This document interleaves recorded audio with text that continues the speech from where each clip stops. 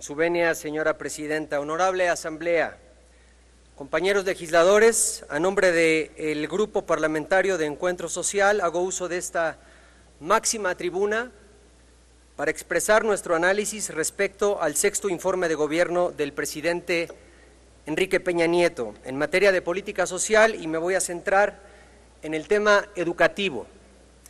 Durante este periodo, muchos de los esfuerzos gubernamentales se aglutinaron en la Estrategia Nacional de Inclusión y en la propuesta de México con educación de calidad. Lamentablemente, para la administración de Peña, el balance no es positivo. Particularmente se reporta que durante esta administración se realizó una inversión acumulada sexenal de 139 mil millones de pesos para dotar a las escuelas de recursos directos, infraestructura y materiales educativos mediante programas con cobertura nacional, entre ellos escuelas dignas y escuelas al 100.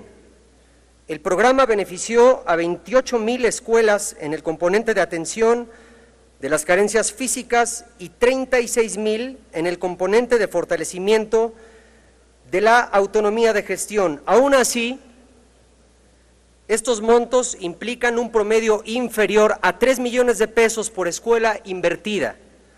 Con el puro gasto en la publicidad gubernamental en pro de la reforma educativa, pudieron atenderse casi 500 escuelas adicionales. Eso sin considerar que hay subejercicio de hasta 70% en algunos estados al tercer trimestre de este año 2018. Es importante considerar que, de acuerdo con el censo que realizó el INEGI en el país en el año 2013, hay más de 152 mil escuelas. Si hacemos una comparación con el número de escuelas beneficiadas en esta administración, nos damos cuenta de que más del 50% no cuentan con seguridad estructural, casi la mitad no tienen drenaje. Además, una quinta parte carece de agua potable. Más de 40 mil escuelas no tienen baños, no tienen electricidad. Las instalaciones son una desgracia. Sufren del síndrome del edificio enfermo, son altamente sensibles a problemas de temperatura, iluminación, calidad del aire y otros factores ambientales que la infraestructura física simplemente no puede contener. Por ejemplo, ¿qué pueden decir alumnos que todavía cuentan con planteles que las paredes de sus colegios son de tablas, de aluminios? O los alumnos de la primaria Lázaro, Cárdenas, de la colonia Provivienda en Guadalupe, Nuevo León. Las temperaturas ahí alcanzan los 40 grados centígrados o más a la sombra, no tienen abanicos, compañeros. Tienen computadoras, pero obsoletas, no tienen internet, los patios parecen terrenos baldíos. ¿Eso es educación de calidad? Si eso está pasando en un estado próspero como el estado de Nuevo León, ya ni hablemos del resto del país, compañeros.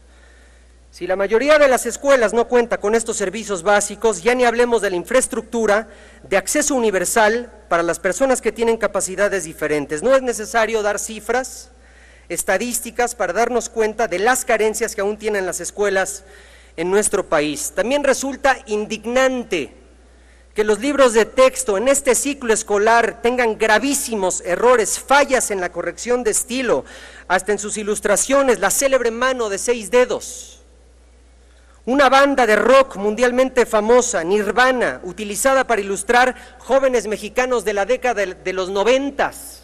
Es lamentable.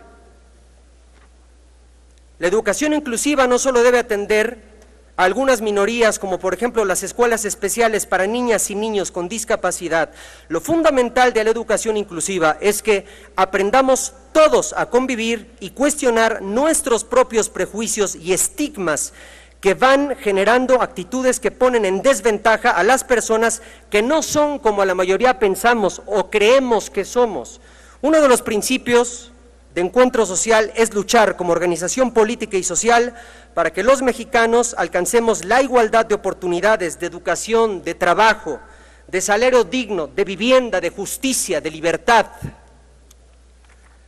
Le corresponde a el nuevo gobierno y a los que lo acompañamos, trabajar arduamente para cumplir las metas del proyecto de nación que encabeza nuestro presidente electo Andrés Manuel López Obrador para invertir más recursos en infraestructura, lograr que la educación sea un derecho universal y además promover e impartir de manera gratuita todos los niveles educativos, incluyendo el nivel superior, con la finalidad de formar individuos con valores éticos, pero sobre todo construir, compañeros y compañeras, una sociedad mejor.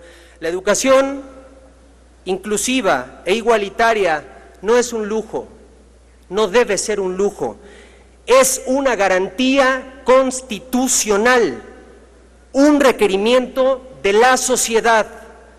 Que esta legislatura, compañeros y compañeras, se caracterice por hacer un esfuerzo por nuestras niñas, por la educación de nuestras niñas, de nuestros niños y de nuestros jóvenes. Ellos son el futuro de este país. No les abandonemos. Gracias, compañeros. Es cuanto, señora presidenta.